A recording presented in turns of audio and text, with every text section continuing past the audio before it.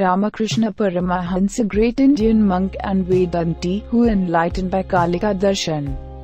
Ramakrishna Paramahansa born the 18th of February 1836 and last breath the 16th of August 1886 born Gadadhar Chatterjee or Gadadhar Chattopadhyay was an Indian Hindu mystic and saint during the 19th century Bengal.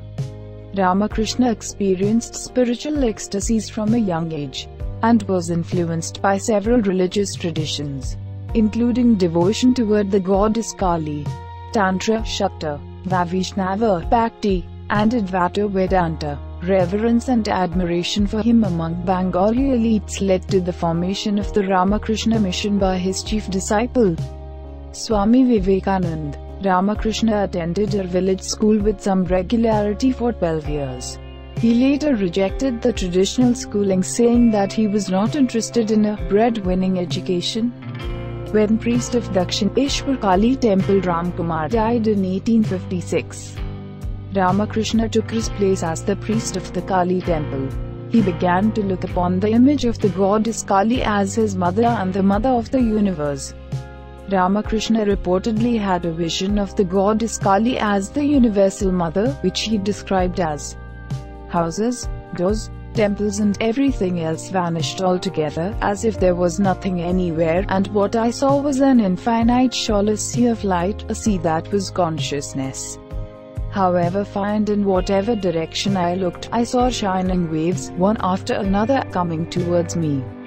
Rama Krishna Paramahamsa enlightened by Kalika Mata Darshan. Marriage with Sharada Devi just 5-year-old girl in 1859. Later Sharada Devi was 14 while Ramakrishna was 32. Ramakrishna became a very influential figure in Sarada's life, and she became a strong follower of his teachings.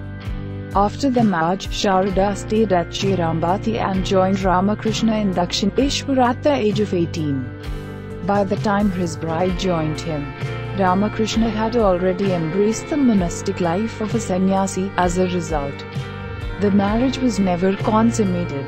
As a priest Ramakrishna performed the ritual ceremony, the Shodashi Puja where Sharada Devi was made to sit in the seat of goddess Kali and worshipped as the Divine Mother. Ramakrishna regarded Sharada as the Divine Mother in person, addressing her as the Holy Mother. And it was by this name that she was known to Ramakrishna's disciples. Sharada Devi outlived Ramakrishna by 34 years and played an important role in the nascent religious movement.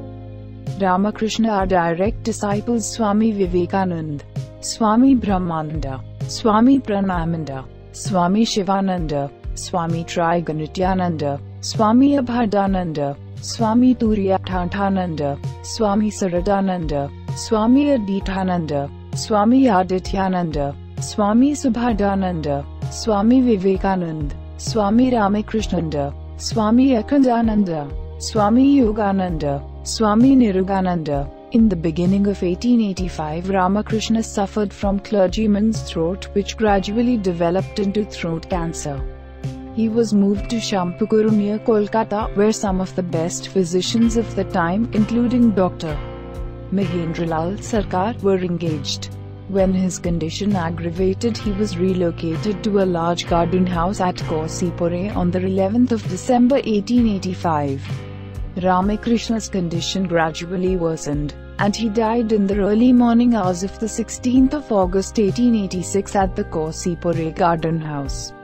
According to his disciples, this was Mahasamadhi. After the death of their master, Sri Ramakrishna said it has been revealed to me that there exists an ocean of consciousness without limit.